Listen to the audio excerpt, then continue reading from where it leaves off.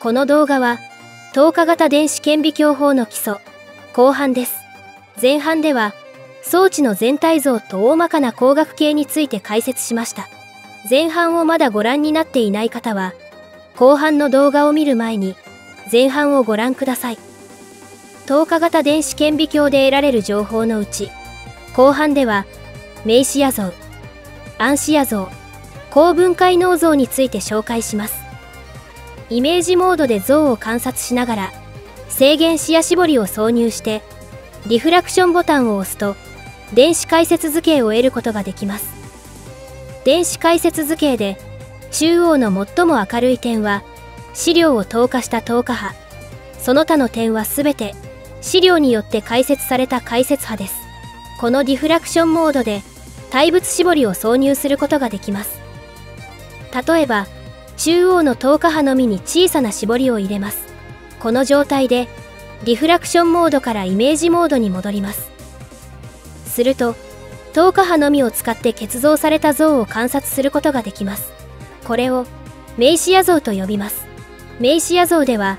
解説波はすべて対物絞りによってカットされ、透過波のみで結像されています。透過波なので、資料のない真空の部分が最も明るくなります。またこの像では、中央の結晶流が、周りの結晶流よりもわずかに暗くなっています。これは、中央の結晶流では、入射された電子線のうち、解説された波が多く、相対的に透過波が弱くなったためです。このように、解説条件を反映したコントラストを解説コントラストと呼びます対物絞りは対物レンズの下交渉点面の位置にあります。穴の大きさの違う絞りがいくつかあり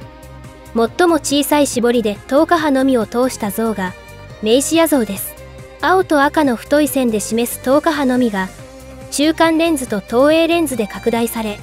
スクリーンまで到達しています。実際にはメイシア像を観察するときには制限視野絞りは外しておきます。メイシア像では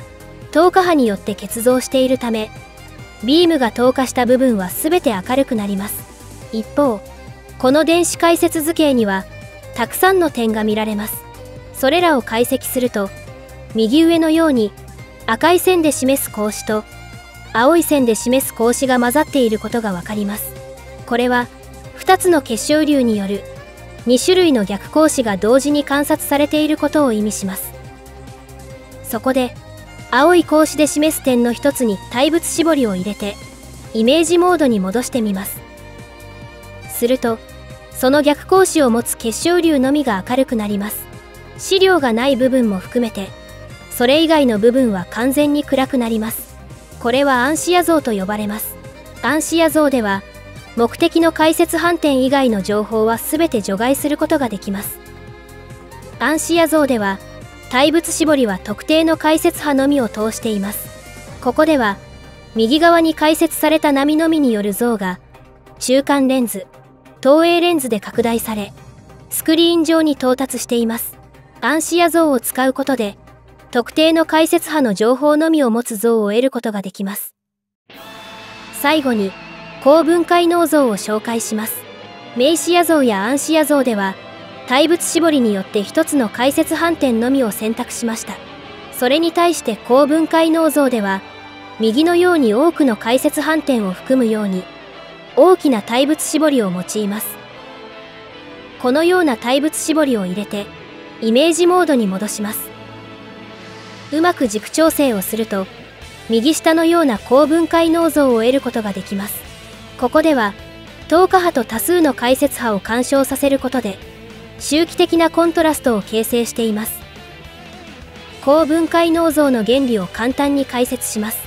電子解説図形に対応する逆光子と結晶構造に対応する実光子の変換は数学的にはフーリエ変換です。言い換えるとリフラクションモードとイメージモードの切り替えはフーリエ変換を行っていることになります。例えばリフラクションモードで左上のような上下方向の点の列が見えているとします。ここで、